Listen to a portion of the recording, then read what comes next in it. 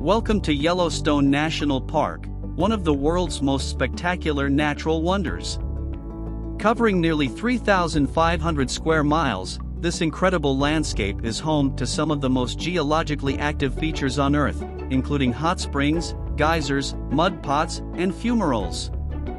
In addition to its fascinating geology, Yellowstone is home to a diverse array of wildlife, from grizzly bears and wolves to herds of bison and elk.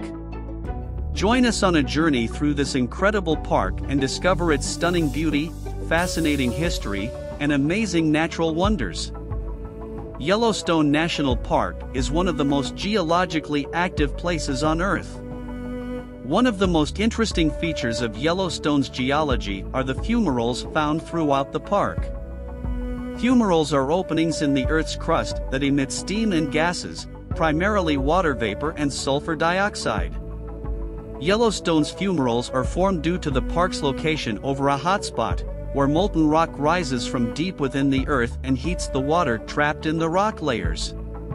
The Norris Geyser Basin is one of the most popular spots to see fumaroles in Yellowstone. Here, visitors can see numerous fumaroles emitting steam and gases from vents in the ground. The fumaroles at Norris can reach temperatures of up to 200 degrees Celsius, making them some of the hottest in the park. One of the most fascinating aspects of Yellowstone's fumaroles is the microorganisms that can survive in these extreme environments. Some of the earliest life on Earth is thought to have originated in hydrothermal vents like those found in Yellowstone's fumaroles. However, visitors should exercise caution when exploring these areas.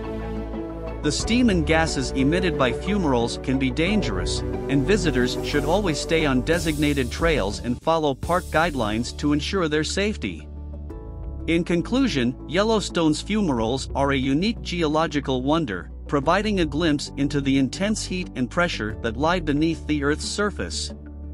Their stunning beauty and scientific importance make them a must-see for any visitor to the park.